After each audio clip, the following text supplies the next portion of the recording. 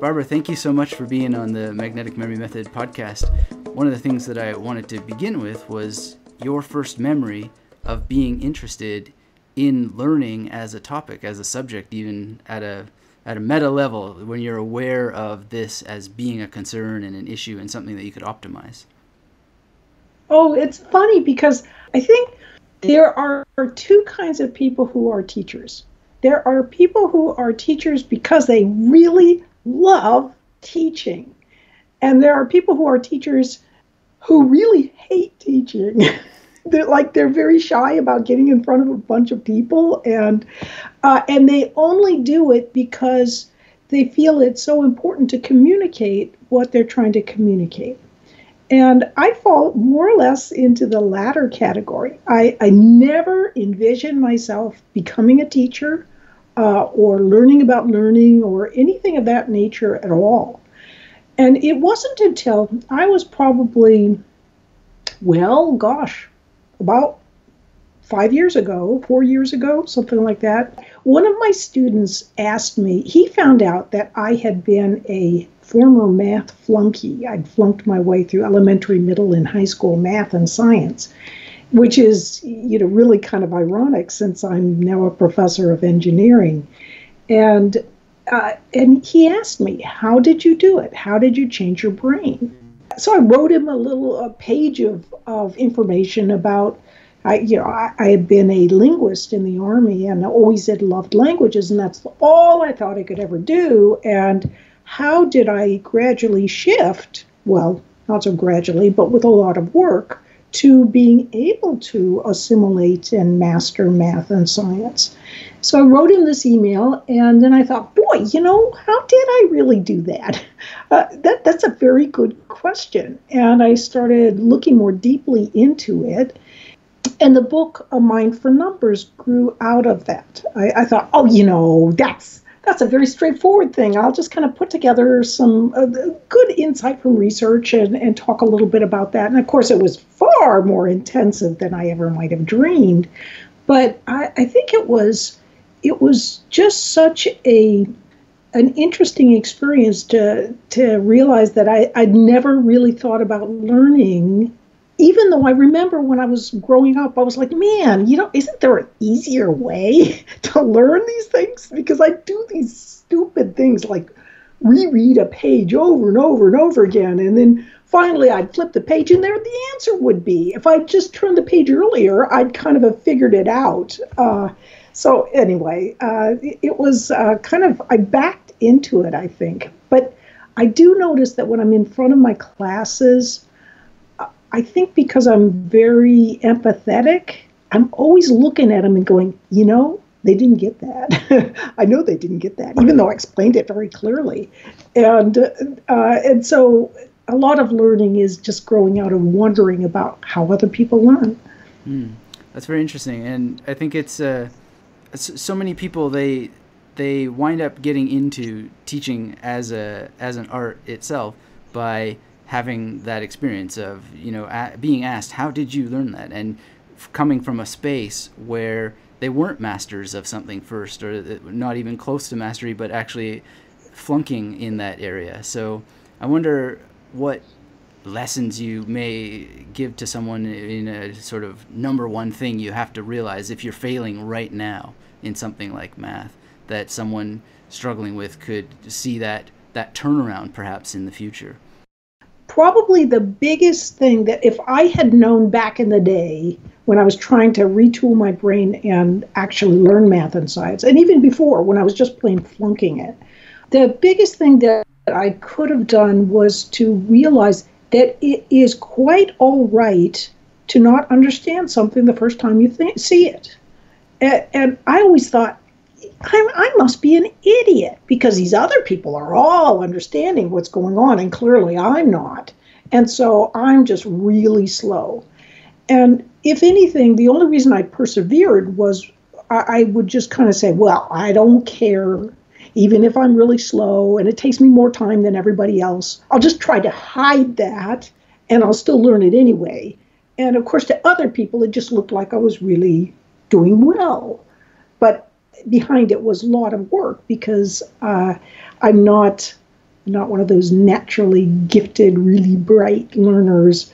But in the same sense, I think because of that, when I learn something, I really learn it at a very deep level. And I think it's that way for many people. They think they're not very bright, but actually, the way they have to learn it, uh, because they their brains may not be like swift moving, uh, they they can actually learn it much more deeply. Mm. I read somewhere someone made a mathematical proposition that something like 98% of people just give up after the first resistance uh, that they come across. And so I wonder how did you develop in yourself this stamina, or what would you call it, this ability to give yourself that permission to have it okay that you didn't get it the first time? I think what worked for me is to be successful in something that did require some learning. So, uh, um, some concentrated effort, in other words. So, whether that something is learning how to play a musical instrument, or learning to sing, or learning to play soccer, or learning um, any number of different kinds of things, if you learn one thing so you are successful at it, then that gives you the impetus to think, you know, maybe if I stick with this next thing, I can be more successful. Uh, uh, so I, think that's probably this. So for me, I joined the army and learned Russian, and so I, I just learned step by step how do you practice and really learn a language well, and in, in doing that, it sort of taught me meta skills about learning, and and that has served me in good stead in math and science. As a linguist, do you see a relationship between math and language? Oh, very much so. There's a sort of expert on experts. Uh, his name is uh, Anders Ericsson, who, who works out of Florida, and just wrote a great book called Peak on becoming an expert in, in virtually any topic. And often, what you're doing when you're learning a language is you're not just memorizing a bunch of vocabulary words, although that, that actually is an important part of learning a language. You are learning to think in a different way and to be able to process that information in a very different way. So you can not just spew out a bunch of vocabulary words, but you can bring out the grammatical structure and do it quickly. And that is a big part of what's going on in math and science. You're you're bringing out a new numerical structure, and you have to be able to do it fluently. Uh, if you haven't practiced enough, you have nothing to like, no patterns to pull into your working memory to make things easier. You're just doing everything de novo in your working memory, and it's too hard to do. So I, I think there are great similarities, and I think that a reason part of the reason may be in this country, many engineers are from uh, from other countries be, be, besides the U.S. And part of that is that there's a big need for engineers, and there's not enough engineers in this country. But I think part of it too is that those coming from outside the U.S. have also they know how to learn because they've they've often uh, had to learn English, and that has I think been a meta skill that has transferred to their ability to also uh, do well in math and science and engineering sorts of topics. Right, that's a that's a fascinating point, and I think uh, uh, one thing that I observed when I was studying German is that the Russian learners, particularly the Russian learners, seem to get German articles a lot easier, and that seemed to have something to do with the fact. This is just my conjecture, but it seemed to have something to do with the fact that they didn't have to deal with articles. So when they came across articles, they got them the first time because it was just this sort of new sort of thing. And uh, for an English learner, where we do have articles, just not of a gendered kind, you know, you, the brain wants to get lazy and sort of ignore that. So we're not really thinking of it uh, in quite the same way as people who don't have articles. Uh, if that if that makes sense, just as a kind of observation of of how uh, learning another language can then give you a skill that can transfer over to uh, to something else like math. I, I, think that's a that's a very interesting point. and I think maybe related to that is when you learn something like math and well, let's say you learn like I'm studying Spanish now. I am a, a slow learner, but I'm going to be using your techniques to help speed things up. Uh, and but when you're when you're learning those kinds of things, you're working away at it, and cognitively, I have a very limited working memory. What that means is that things fall out of my working memory very, very easily.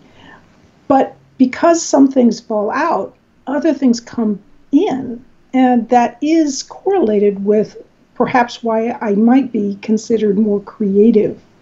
So when people say, oh man, I got to work so hard to keep these things in mind, what's going on, they often think, oh, I must be so kind of dumb because I, I can't, I don't have a steel trap mind like some people.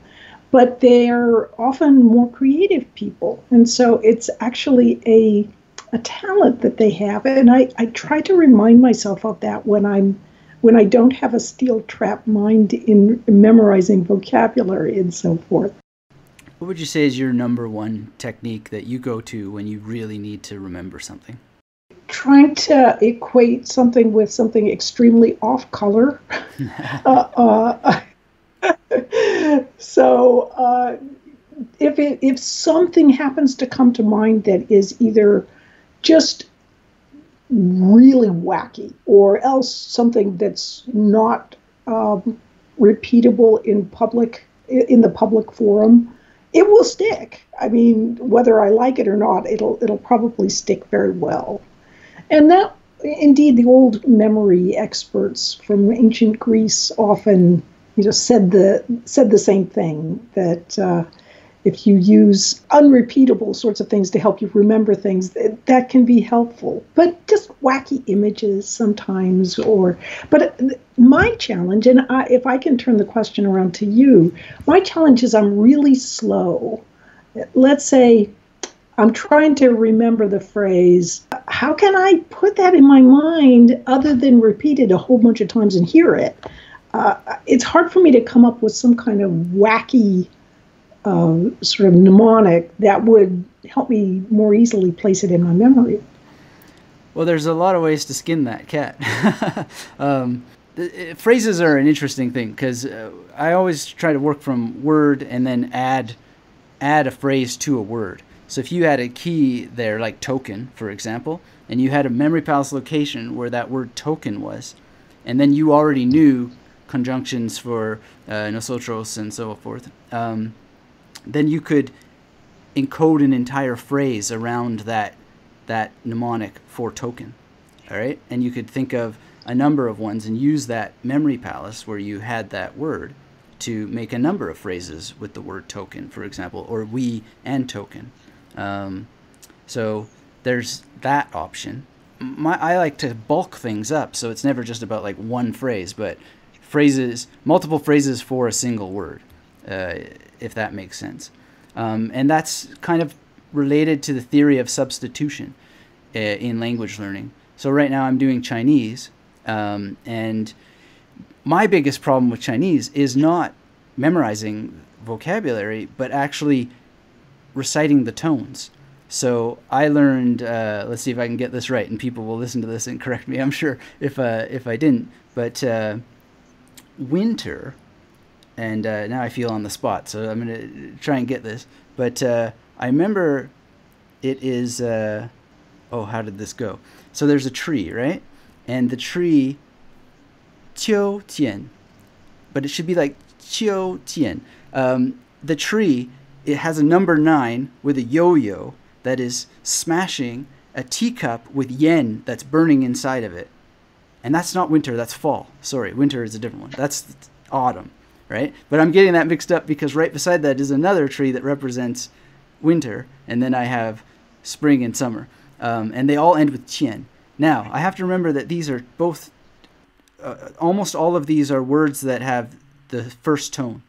Uh, one of them has the fourth tone and the first tone. So now I have a t- frog there because I'm using the major method to remember of the tones. And I have the number nine because number nine is jiu, uh, or something pronounced like that and then but it's actually Zhou Jian. So it's like a lot of confusing stuff. And this is my challenge as a teacher, which is one reason why it's very interesting to speak with you because I'm always trying to think of how can I teach this stuff better because it's mnemonics are insane. You know, you're saying, well, there's a frog, and then there's a teacup with yen burning inside of it to remind me of Tian. Uh, you know, and it's just I don't know the best way to teach these crazy images to people in a way that that uh, really makes sense. When it makes sense to me, and I have a basis now to um, to recall that again and again without any flashcards. I just have to remember that it's something like Jiu Tian, and then when it comes to substitution, I would I'd say to the, my speaking partner, "Wo Shi huan jiu tian," which means I like autumn, and uh, then I want to be able to say, "Tomorrow I will also like autumn," right? Or I like next week it will be winter and I will like winter and start changing the phrase so that it's today I like autumn, tomorrow I will like autumn, next week I will still like autumn, or I will like winter, or it will be autumn after winter. And this is sort of like the substitution thing. But if you just have that one word, then you can play with the phrases around it. And I have a park that has the four seasons. And so it's just a matter of practicing those pronunciations where I go in my mind, I see the tree, I see the images, I know some basics of phrases, and I just start drilling different phrases around that.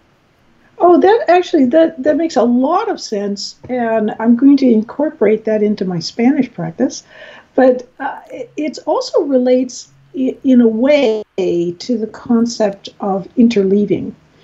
Um, in and this is something that's um, frequently spoken of in the context of math and science learning. And what the, the point is, for example, I teach statistics and probability and I have my textbook, and it goes through the chapters one by one of the various aspects, and it, and it kind of builds up. But often, what is in chapter four, say, is rather unrelated to chapter six and unrelated to chapter eight. And by and you learn everything in these little snippets. So you learn chapter four, and you can do the techniques of chapter four, and then chapter eight, and you learn those techniques and so forth. But the only time you ever see them all at one time is during the final examination. Mm. And so people really uh, sometimes are, are say, oh, I just don't know how to do this stuff because they haven't learned how to pick out one thing as a one technique as opposed to a different technique because they're taught in different chapters. And what you're doing is you are using a commonality, a, a, word or a concept, but then you're saying, oh, but you can use it this way, and this is, and then there's another way to use it, and there's, and so you're you're kind of interleaving at the same time that you're bringing everything together with a single word. I think that's really cool. A great a great approach to learning. I certainly have a lot of fun with it, and one of the questions that I had prepared to ask you relates to this which is that you talk about index cards, how to optimize the index cards process, and how that revisiting information is absolutely critical. But I'm the kind of student, and I always have been, and with language study in particular, I'm not the kind of person who's going to uh, ever use them. like I'm not going to use spaced repetition software, um, and I think that's what has appealed to people about my books is because they I, I, they're often attractive to people who are also not ever going to use that. But knowing that they are effective. And knowing that spaced repetition that is uh, assisted by software is also effective for creating long term memory, I wonder what other alternatives you might suggest to people uh, who also aren't going to go that route, but do need to be revisiting information. Because the example that I just gave you, the reason why that I can remember it today, uh, Qiu Tian, knowing that my pronunciation isn't perfect yet, is because I've rehearsed that in my mind several times. I just haven't done it with index cards in front of me. There's several different ways that you can approach it. Maybe a, a good way is to just use those spare moments to recall what you can uh, of whatever you're trying to work on and that effort to recall will will actually do a good job whatever you can recall that that's going to imprint that ever more deeply on your mind we do want to let our minds wander some. So we don't want to use every spare second of, oh, I'm going to the bathroom now. I'll conjugate my verbs, uh, something like that. There, there are lots of spare moments. Like when I go for a walk, sometimes I'll I'll practice to become more fluent at certain phrases, or so I'll be walking along, and of course my husband's like, "What are you doing?" and but I'll, I'll, I'll just be doing something perhaps in my mind or saying it out loud. So using those kinds of moments, if it's really really important, it, it can't hurt to take a sticky note and stick it on your mirror with whatever that phrase or whatever is going on. And I often will tell my students uh, in my face to face classes okay, see this point right here, see this equation? This is such an important equation that you should put it on a sticky note on your mirror and, and memorize it. And, and so whenever you go in front of that mirror, see if you can remember it and then check and make sure you've got it right. Uh, so that's a good technique. Sometimes what I find annoying about flashcards is you get it in your mind faster than you can flip the flashcards. So it's just like this is sticking. I'm trying to. It's just like you know where you're going already, and you just want to rifle, go right through them. And of course, it would be quicker to have something like Anki or something like that. But um, a lot of times, I don't want to take the time to uh, type it all in manually. I will do some uh, by handwriting, but I I often like uh, to have sheets of paper where I just write on one side. I'll, I'll write the words that I'm trying to remember uh, in English, and on the other side uh, in Spanish or or Russian or what have you, and just and when I kind of get familiar with the page, I'll you put the page aside, and I have a big collection of pages but that that makes it really quick to go through, uh, and often the kinds of things that you're trying to remember are related to to one another, and you want to see the patterns for how they change. And you, it's hard to do that with flashcards. But if you write them on pages, you can see the relationships between different tenses, say, mm-hmm. um, or, or that kind of thing. So it, it it doesn't seem to me to matter so much that I mix them. I'm able to mix them up with flashcards. That's the one advantage of flashcards. But they're so much faster uh, to quickly review something, and even the act of writing it out, of course, is helpful. Well, thank you for those great thoughts on memory. That's very useful. I wanted to talk as well about a great course that you have on Coursera called Learning How to Learn, and uh, this is something people can find on Coursera, and it's a free course. Um, and I just wonder what's the evolution of that course? How did it come into being, and what is what does it mean to learn how to learn? I, I sort of backed into doing it. Um, it's kind of funny. My husband and I were down in the basement filming the course, and we, we were just kind of going, "Gosh, you know, is anybody ever even going to watch this? Why are we doing this?" And it was like, "Oh, well, we have to do this. We just have to do this because the it has a lot of helpful information and, and we feel it's really important. And the thing is, though, uh, so now uh, it's the most popular course in the world. It's got, uh, I had over one, it's about 1.6 million uh, enrolled students so far. And people just really love the course. They find a lot of value. And it's, it's people from all walks of life. 5% of the learners have their PhDs. Um, we, we, uh, I got an uh, email from a fifth grader, about 12 years old, who says, Oh, I took that course with my mother, and you know, I never realized that professors could be so witty. and I was like, boy, you know, if you knew how long I worked to try and be witty, you know. Uh, but uh, but and then our older daughter is in med school, or was at that time in med school, and so she uh, she was sitting in her class in med school and being taught by a um, preeminent uh, specialist in in Southeast Michigan, and he suddenly there's 70 kids in the class, 70 medical school students, and he suddenly stops the class, points right at her, and says, "You, you're the girl in the The massive open online course. So here's this preeminent specialist taking this course on learning so that he can be a better specialist at what he's doing. But I, I think what can happen just willy nilly in any discipline is that it sort of grows this this sort of structure that's sort of haphazard. It's it uh, accrues through history. So, for example, let people now will say, "Oh man, anybody who did a course on learning, that's like a no-brainer. It's going to be the most popular course in the world." But I would beg to differ. Uh, if a, I would, I would venture to guess that if, let's say that you happen to go to a school of education and you said, you know, I want you to do a course on learning, and they would have immediately said, great, you know, teachers really need a course like that. And then you said, no, no, no, no, that's not what I want. I want a course on learning for people in general.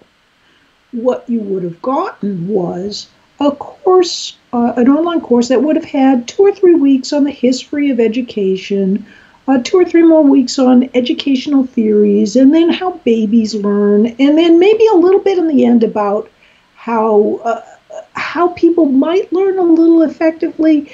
At, with maybe a lecture or two on neuroscience, but that's it because it's really tough and we can't, you know, we can't go there.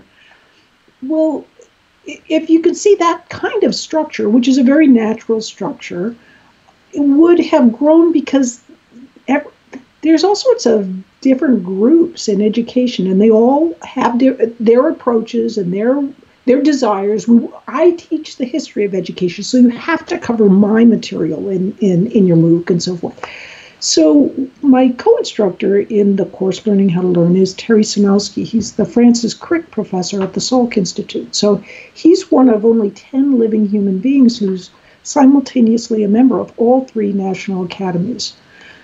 The approach that we took was just to upend everything, to, to say, no, wait a minute.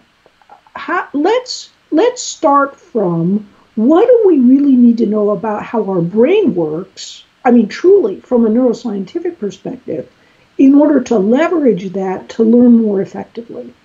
And we don't have to start with, and here's a neuron, and here's how your neuron works. We can take the fundamental key ideas and um, and bring those forth and explain them using metaphor uh, to so that people can easily grasp some key approaches about how their brain works, and then we can use that to build on all sorts of different aspects of what cognitive neuroscience, uh, cognitive psychology, and neuroscience are revealing about how you learn effectively, not just in the humanities and social sciences, as important as those are, but also in the sciences, which uh, I think a lot of those who teach about how to learn don't have a solid, high, high caliber professional expertise in a mathematical or engineering or technical type of discipline. And so it, it's sort of like what they're teaching actually doesn't really apply to how you learn effectively in STEM disciplines uh, science, technology, engineering, and math. So the way we're teaching is in a way that's meant to be encompassing of all disciplines, uh, not just more uh, the uh, the soft sciences side of things, but but everything. And I think when you look at meta learning in that fashion, you can really enhance uh, people's understanding of their brains and their limitations, and how those limitations can also simultaneously be strengths. Is there a sense that by learning something that at least on the surface, seems more difficult, like engineering and science, than a liberal arts uh, topic. Is there a sense that that greater rigor makes it easier to learn in the humanities if you have learning experience and meta learning uh, understanding from something like engineering to transfer over? Because, and the reason why I ask that is because I have a liberal arts background and I can juggle uh, continental philosophy quite well. But when I look at something like engineering, and I'm now actively learning math uh, with the help of your book, uh, because I've been one of those people who sucked at algebra. Um, but I still look at all that stuff and I don't feel like I have those tools. But I talk to a lot of engineering and mathematical people, and they're like, "Oh, that's what Jacques Derrida says." Well, of course, you know, like they just sort of get it. But that's stuff that I had to be trained to get. You, you know what I'm sort of saying? Is there a transferable skill from the technical sciences to liberal arts that isn't transferable the other way? I believe so, uh, but I also believe that there is important, in, in fact, vital value to the social sciences and humanities that can be lost if you solely focus on uh, technical and mathematical. So there are there are many things that that can be grasped more easily if you do have an engineering or a, a science kind of background, mathematical background. But at the same time, if you uh, you, you got to be uh, really careful because you don't want to say, well, yeah, you know, I can do anything because I've got this great science background. No, you can't. Uh, you you want to be uh, also keeping your feet in both worlds, I believe. I learned math and science, I started learning it when I was 26. And because I started learning it at an older age, I, I, th- I feel as if I, I speak it with a bit of an accent.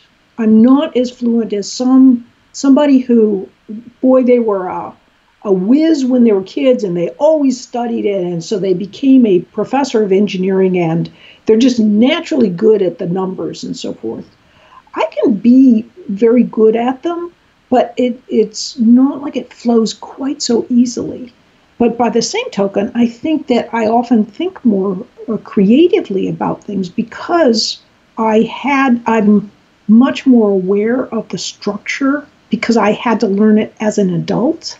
So I guess the best thing I can say is yes, I do think math and science gives you a transferable skill that can make some things in the humanities and social sciences easier to learn, but you can get those transferable skills in math and science at any age. Um, it's it's just that it's kind of like learning a language in that you're not just memorizing vocabulary, you're learning a new way of thinking, and it's that new way of thinking that is what provides for some of the transferable skills. I think of it in particular because I was trying to go back to school, and uh, I wanted to go into an MA program, and I have a PhD, MA in science here in Berlin, and they said, "Oh no, you'll have to go back and get a BA in science," and I just kind of thought, but looking into it, you know, it it is I just don't have that grounding, even though I have some understanding of the concepts and so forth, but they simply won't let me in without uh, having done that groundwork first, which uh, makes sense given what you're saying. Uh, if I can add um, a sort of a side point, there are some programs where you can take tests and test into master's programs without having had the bachelor's degrees. And some people are using MOOCs, um, massive open online courses, to train themselves. And then they're taking these tests and going directly. So they're they're, they're getting that undergraduate uh, degree equivalence without having to pay enormous sums of money and also giving up big parts of their life and and then just leaping right into the master's programs. I want to shift gears a little bit because one of the things that uh, I get to do in my job as an interviewer of people about learning and memory is also talk about some of their other interests that connect maybe in a different way to memory and a shared interest that we have uh, is altruism.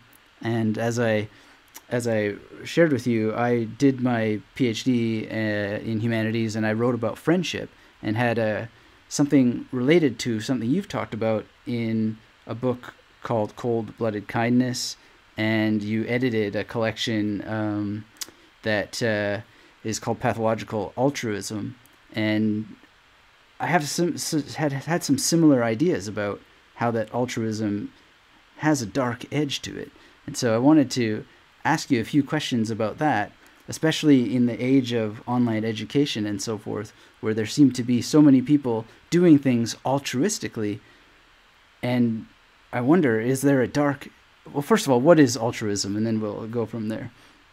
Oh, well, that's an open-ended question. um, I, I, wrote a book many years ago uh, with the intentionally ironic title of "Evil Genes: Why Rome Fell, Hitler Rose, Enron Failed, and My Sister Stole My Mother's Boyfriend."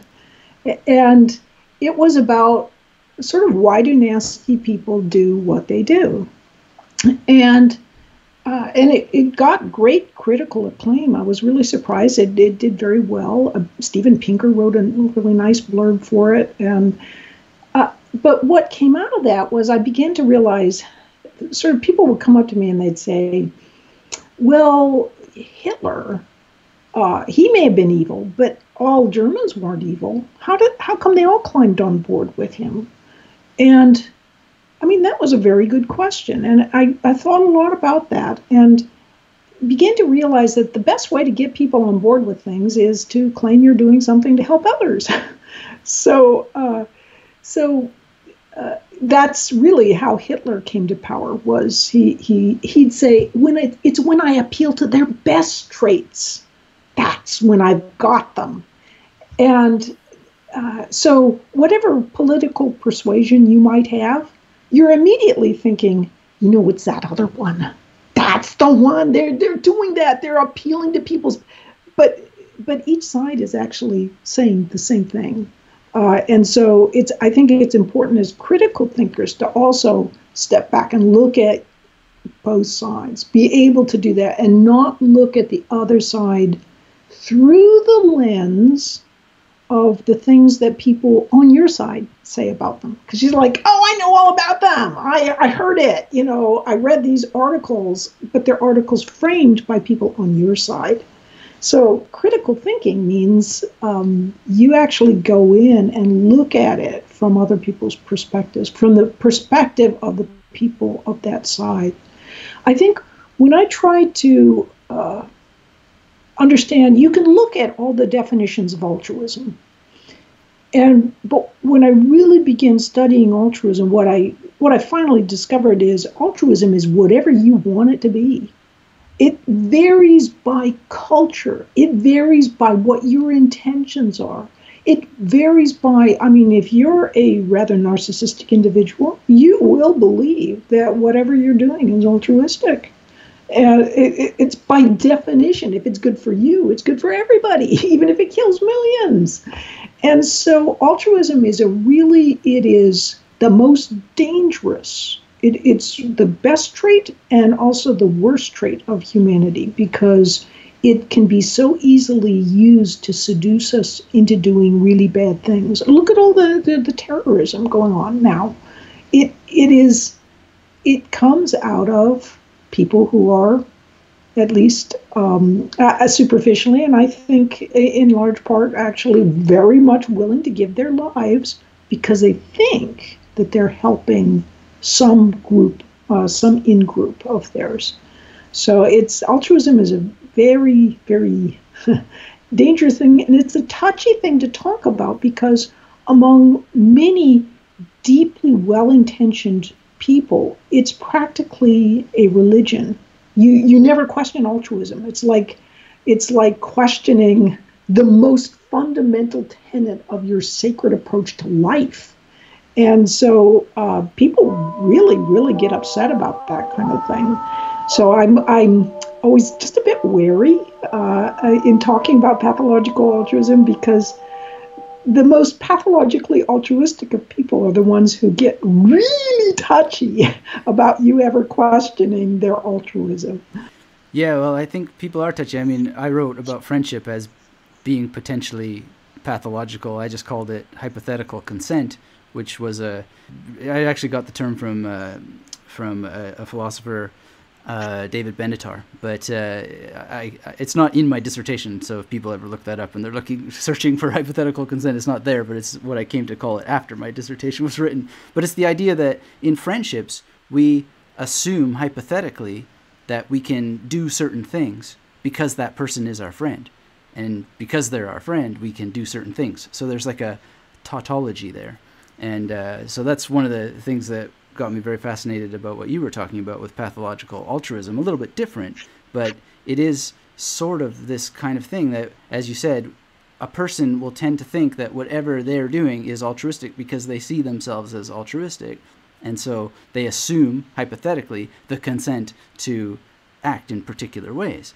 Um, and I wanted to ask you if you see a connection there to memory, because I see a connection to memory that is a bit vague, but it seems to me that so many people become memorable to us because of the altruistic things that they do. Um, and that seems to be a, a, way that we encode ourselves on other people's minds. And I just wonder if you have any thoughts about that in response, how that your idea of pathological altruism touches memory, just memory as such, as a cultural phenomenon, a, a biological phenomenon, uh, a thing that happens to us and that we can do to ourselves and have done to us by others. Oh boy, you bring up so many interesting ideas with that.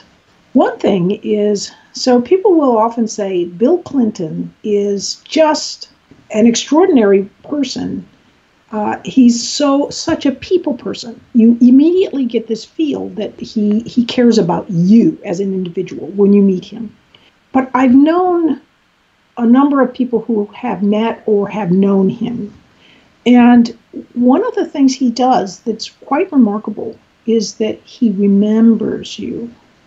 So, for example, I met a docent at the uh, Clinton Library who had five years before, um, uh, she had met um, Bill Clinton, and her husband had been sick that day. So he wasn't able to come. But she'd met him, and then, uh, so just uh, just recently, right right before I had met her, she had met him again. He remembered her by name, remembered her husband had been sick, asked if he was doing better.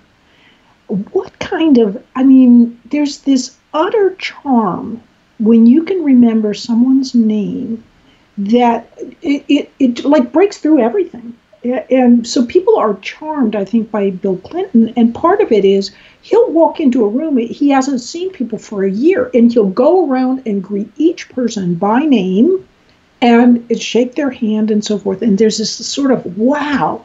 And if you look at great leaders through history, uh, part of a common thread is that they had extraordinary memories so they could remember you know people like hitler had an amazing memory. He could remember all the armaments all the names of you know from different divisions and so forth. Uh, franklin delano roosevelt same thing. Jimmy carter same thing. Ronald reagan. Having a powerful memory is a great tool to help you assume uh, to get to leadership positions in part because people i think they they really like it when you can remember their names.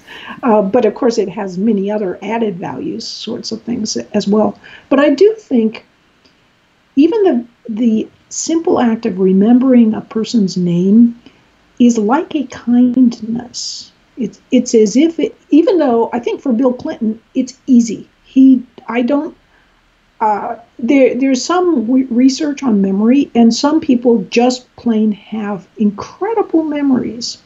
And I think Bill Clinton is one of them. I don't, I don't think he has to use any kinds of the kinds of things more, more ordinary people like me often use.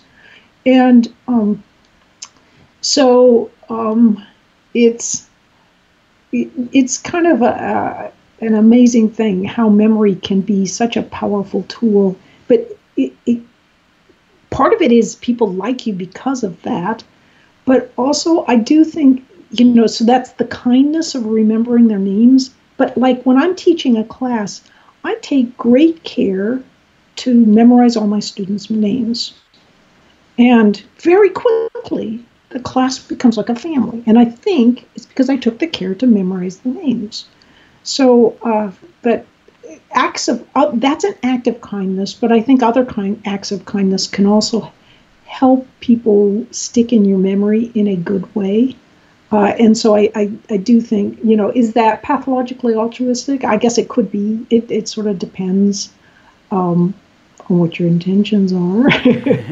uh, another angle that I wanted to go through quickly with the pathological altruism is online education, uh, especially outside of the traditional university, relies so much on giving away something for free and uh, then getting building an audience and then essentially pitching somebody on a on a product. And that seems to be a working model that works very well.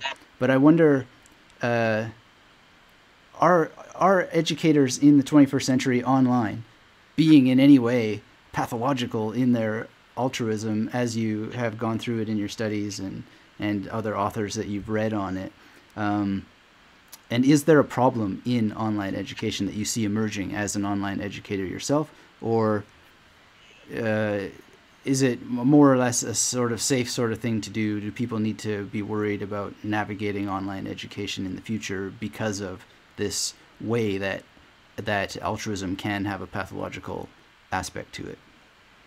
The reality is that online education, well, let's put it this way. In the 1950s, people started playing basketball better. I mean, they just did. They started playing basketball. Why did people suddenly start playing basketball better? It's because there was television, and suddenly people could actually see for themselves what the moves were that some of the top basketball teams were making. And so you're some kid at home, you can actually try it out. You, are a basketball coach at a high school, you can encourage your, your, your uh, students to, to try it out.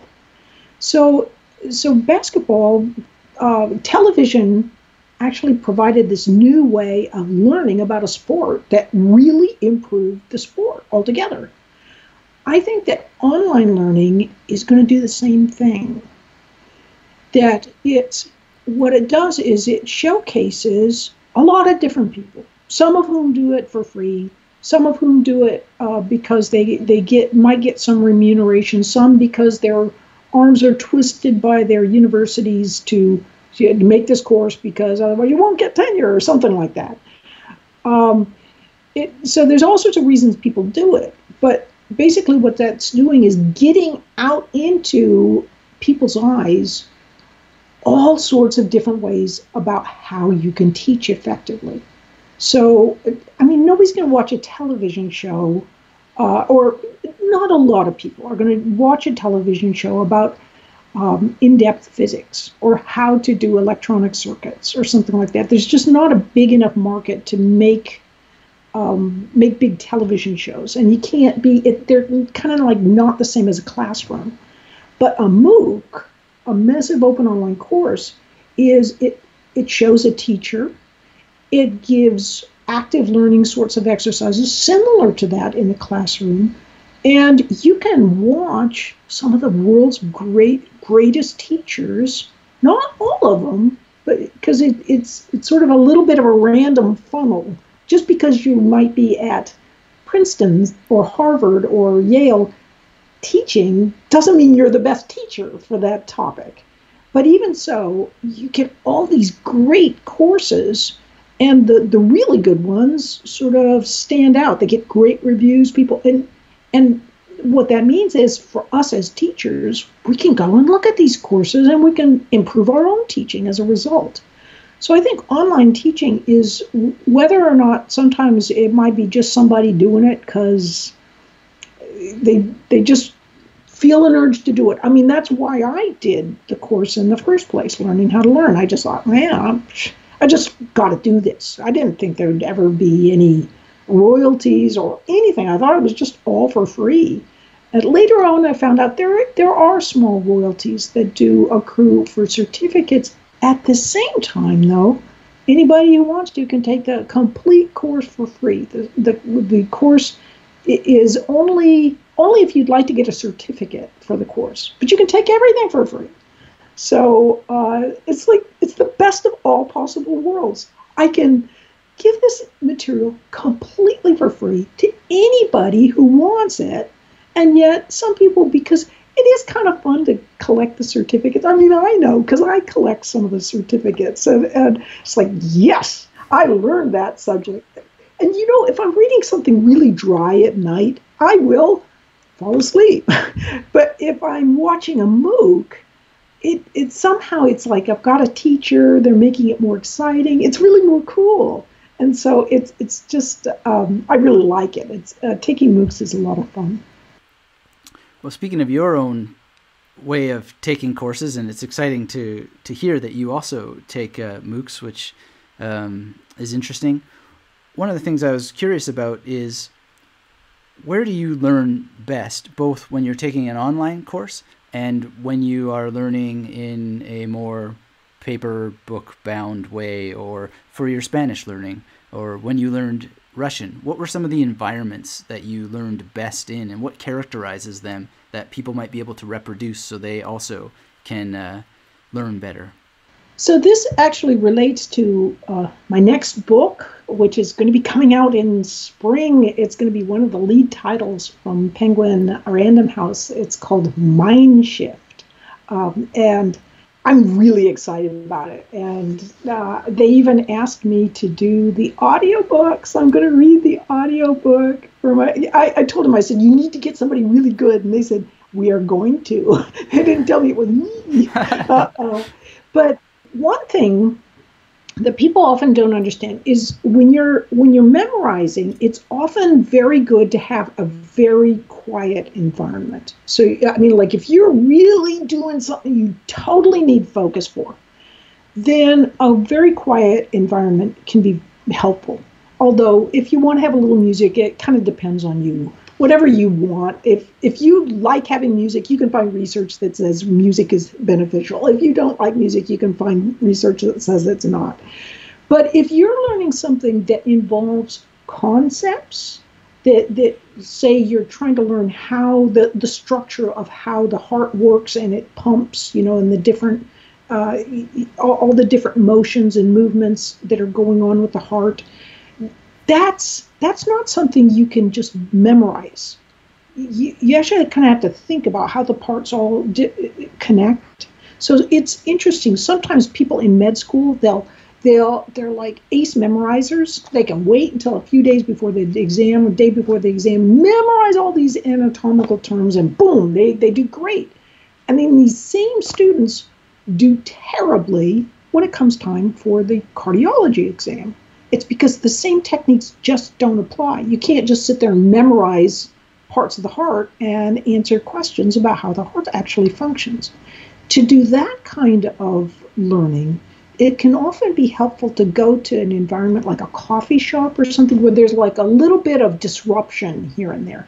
Because that little bit of sound disruption actually puts you into a different mode of thinking momentarily it, it forces you to step out and step back, use more more default mode more, more momentarily, and that that like puts you into broader connections, um, neurologically speaking, and that can help you see the bigger picture of what you're working on. So you're going back and forth between, you know, a task positive, focused mode work, and then stepping back into more diffuse networks and alternating between that can help you when you're learning kind of difficult uh, more more abstract uh, kinds of learning. Well that's uh, that's fascinating to think that one could have permission to work in a slightly distracting uh, or to study in a slightly distracting environment and still still uh, be able to learn effectively. Um, so that's a good tip. Now here's a test of my memory. I wanted to ask you uh, what's coming up next for you. And I believe you said the upcoming title of your new book is Mind Shift. Yes. Yes. Yes. Yes. So my working memory is intact, and that's uh, very exciting. Is there uh, a, a, a release date that people can look forward to? Yes, you actually you can go to Amazon and you can pre-order it, which my publisher always likes. Uh, uh, it, the the actual publication date is April 18th, uh, 2017, and it's already it's doing really well. Uh, um, it's going to be translated into uh, simplified Chinese, so uh, it's it's already going in the translation vein, and uh, so because of learning how to learn, I was able to travel all around the world and talk to learners and and kind of get insights from many different perspectives about the best aspects of learning in different parts of the world and kind of bring them together. And they're uh, uh, even at the same time that I'm talking about the science of learning and, and things like going to a coffee shop for certain types of learning. It's um it was just marvelous fun to work on the book and in some sense it's sort of a sequel to uh, a mind for numbers and learning how to learn and uh, so uh, I'm thinking that it, but it it goes much bigger in scope. It's it's worldwide in scope, and so I I, I think it's not very often you find a sort of a combination of travelogue with science book with just insights about the human psyche, and so I'm I'm hoping that people might find it of interest in their own lives. Oh, well, I'm glad it's already available for pre order. I will definitely go and check that out. And just a tip for people that uh, you can go on an Amazon authors page and be notified when new books from them come out. Uh, I just learned this myself the other day, so that's uh, something people should definitely do is go and find Barbara Oakley on Amazon and make sure you click that so you know when new books are coming out and check out Mindshift. Uh, add it to your uh, collection so it just gets zipped into your Kindle device when uh, when it's available. And I'm going to go over after this interview to do that myself. Well, it, it, I have to laugh because I just followed you on Amazon.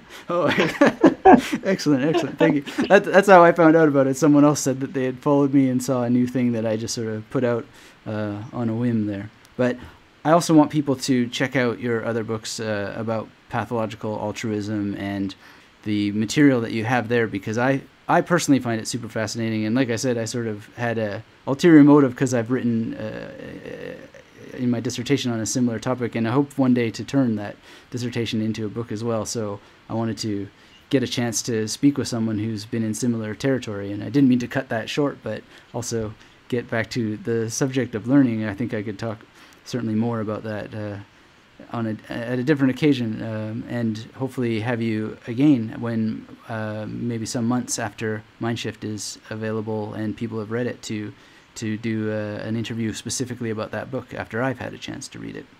I'd be absolutely delighted. And in the meantime, I, I can hardly wait. I'm, I'm going to be uh, ordering a lot of your books. so, it, it, what a treat to meet. I want to thank Barbara again so much for being on the Magnetic Memory Method podcast. It was an absolute pleasure to speak with her, and a treasure of ideas emerged that I know you're going to find useful. I want to encourage you to take Learning How to Learn on Coursera. It's an absolutely fantastic course, and you're going to love so many uh, amazing tips uh, how to take tests and how to focus more and defeat procrastination and just practical techniques that you can actually use to get an advantage. And I really want to encourage you to read A Mind for Numbers because it's absolutely fantastic. And, you know, one of the things that it was so interesting after this interview is that I've been following her advice about like when it's okay to go and uh, work in cafes as opposed to other times when it's better to work in silence. And my goodness, there is a advantage to this. So I really, really want you to give it a try because it's uh, it's it's so much fun, and there's there certainly are some uh, background, I don't know, rhythmical cadences that are just more appropriate than silence, and uh, just it's fantastic. And I'd really love to hear from you if you go and experiment with that yourself. And really, what I want to encourage you to do to sum up this uh, conclusion to Barbara's value that she gave to us today is to go out and try these techniques. It's so easy to come across another point about learning and so forth and then just let it drift into the wind and never actually do it. But what is so important is to try things and actually follow through and implement because you know the map is never the territory and we can, as educators, give you all the maps in the world, but until you actually take the map and then go out into the world with the map, then very little is going to happen other than the looking at of maps. but you want to go out and get that territory. You want both. And so I am really deeply grateful for Barbara and the work that she's done, and that she's been able to reach so many people through learning how to learn on Coursera. So I encourage you to get her map and go through actual territory by following what uh, is advised for you to do in that course, and you will have more memory techniques to use because they're covered in that course, and you will have tips for taking tests, and most importantly, dealing with procrastination. You'll have tools that will help you overcome that, and that is one of the biggest ones. We all face it, and it's something that you can cope with and overcome and even turn into a tool. So it all starts with getting into the territory. And so, really, really do enjoy this course, uh, learning how to learn, and of course, reading A Mind for Numbers because it has uh, really great information. But you just want to take it and actually do something with it. And I think that uh, Barbara and I share this passion for helping people do things. And, you know, if you have ideas about how people like us can help you do more things, implement more, take those maps that we give you and get out into the territory, then by all means, please let us know.